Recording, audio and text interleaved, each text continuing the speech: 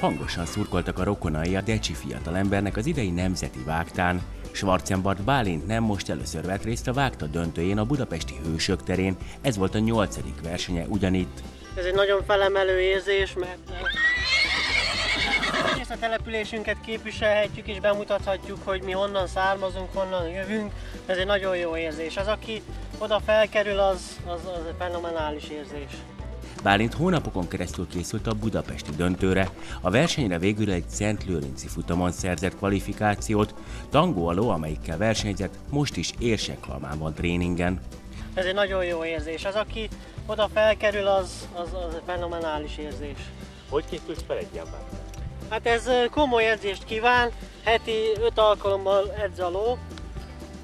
Én most egy trénernél edzettem, én heti kétszer jártam hozzá, a többi napokon ők edzették. Molnár Gyönnyi volt a trénerünk, az edzőnk, ő már kétszer nyerte Budapesti Nemzeti Vágtát.